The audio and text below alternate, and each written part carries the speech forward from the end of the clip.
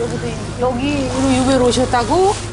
처음에 유배에 오셨던 집을 그대로 두고 복원만 했대.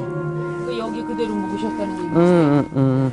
근데 복원했다 그러면은 야 이거는 어머, 저 평상 봐, 언니. 어머, 어머. 아우, 나 이런 집에 살고 싶어. 어머, 웬일이야.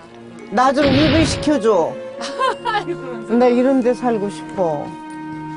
주막 할머니의 배려로 골방 하나를 거처로 삼아서 교육과 학문 연구에 헌신키로 다짐하면서 붙인 이름으로 네 가지 올바로 하는 이가 거처하는 집이란 뜻을 담고 있다. 그래서 사- 아.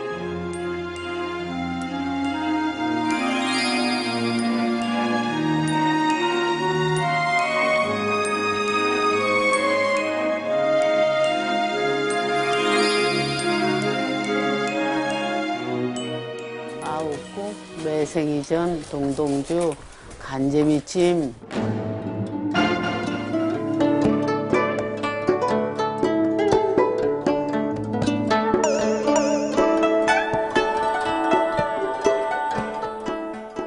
주모! 주모! 개 있어? 이거 뭐냐 이렇게 목소리도 저기 왜 찾아? 소유는 한양에서 유배온 정야궁이라고 하옵니다. 유비 같지 않은데 큰 소리 치는 게? 원래 이러고 큰 소리 치고 살아서 습관이 울시다. 아 근데 뭐가 처먹고 싶은데 말나 해봐. 내 저 집신 한 짝 줄 테니까 밥 한 술만 주시오. 뭐라고? 아니면 제가 글을 시를 한 수 써드리겠소. 그저 허기 면할 밥이나 한 끼 주시면 어떨까 하오. 뭐가 자시고 싶어 얘기나 해보시고. 저 주모 맘대로 주시오. 아니 이따오로 말해가지고 밥도 먹었어? 아니 이따오로 말해가지고 밥도 먹었어?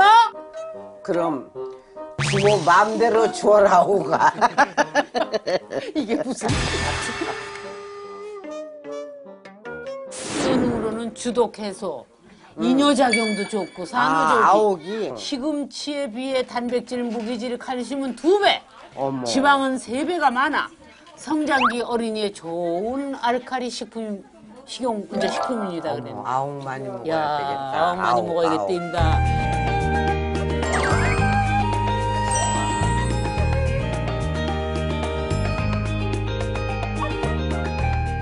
우리가 정말 장난처럼 이렇게 응? 정약용 선생처럼 내가 또 거기 모시던 할머니처럼 장난으로 했지만은 진짜로 이렇게 이 정도도 물론 못 잡았을 난 거고. 검- 아이 그럼 것 형편없 같아.